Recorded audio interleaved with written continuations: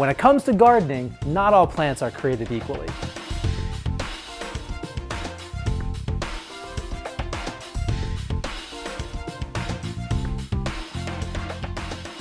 Hey, I'm David Mizejewski, a naturalist, author, and TV personality with the National Wildlife Federation. As a gardener, I want plants that are beautiful, low maintenance, and that are going to thrive in my specific garden conditions. As someone that cares about our environment, I also want garden plants that feed the birds and butterflies, that don't require chemical sprays, and that fit into the natural ecosystem. American Beauties native plants do all that and more. Native plants are the trees, shrubs, grasses, and wildflowers that have evolved in your region over hundreds of thousands of years. They're perfectly adapted to thrive in your local conditions, from the soil types to rainfall levels to average temperatures. I love American Beauties because there's so many plants, so many varieties to choose from. They are low maintenance, easy to care for. I can just plant them in my yard, sit back, and know that I'm going to have a beautiful garden to enjoy. Native plants like those found in the American Beauties collection also happen to be the plants that your local wildlife need to survive. They offer seeds and berries, nuts and nectar as food sources for wildlife, and in return, the animals pollinate the native plant's flowers and spread their seeds.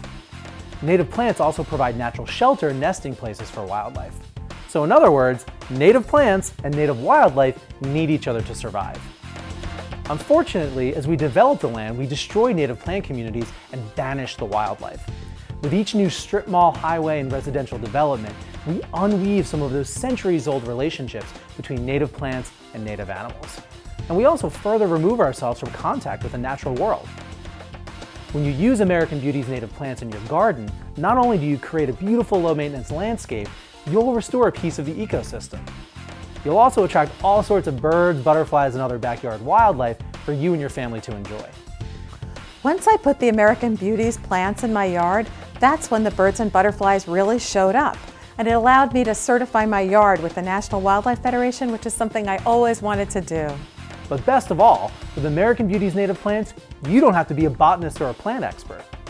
The American Beauties plant tags are full of information, including the native range of the plant, its USDA hardiness zone for the garden, and all the wildlife that it'll attract. The American Beauties website, abnativeplants.com, has beautiful photos and even more information on each plant. You can download landscape plans and lists of the best plants to attract birds and butterflies, as well as plants for different garden conditions, including dry shade, full sun, and wet soils. I had a low wet spot on my lawn, and I looked at the American Beauties plant tags and I found plants that would fit there perfectly, so I plugged them in and they just look great. Well, my worst trouble spot's a dry, shady area in the back of the yard. And ever since I put the American Beauties plants in, it's really become the centerpiece of my home. You can even find out how to have your garden recognized by National Wildlife Federation as an official certified wildlife habitat. With American Beauties native plants, anyone who gardens can return life and natural balance to their garden.